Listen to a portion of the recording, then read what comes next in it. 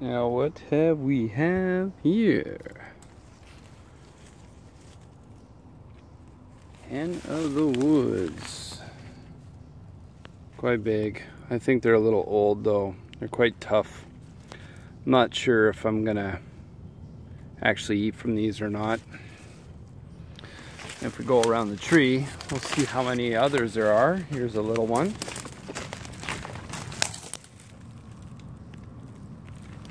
Spored out quite a bit already.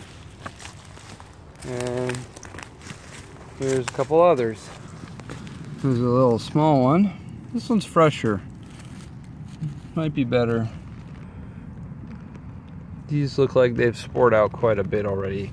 It's hard to tell with the the video, but